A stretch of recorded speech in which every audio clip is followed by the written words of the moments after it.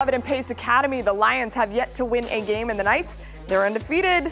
Lovett up 3 0. Hayden Bernard blocking the punt, and Dylan Mayers scooping it up for the Lovett TD. Then late in the first half, Pace QB Connor Phelan throwing to Cooper Williams. Great catch. Cuts the Lovett lead to 10 7 at halftime. Then third quarter, Khalil Towns with a big time run. 53 yards to the house. That'll give Lovett a 17 7 lead, but Pace would come back to take the lead. But Lovett gets a field goal and a pick six. That was a lot, but you guys, this was a crazy game. The Lovett Lions 30 to 20 over Pace Academy.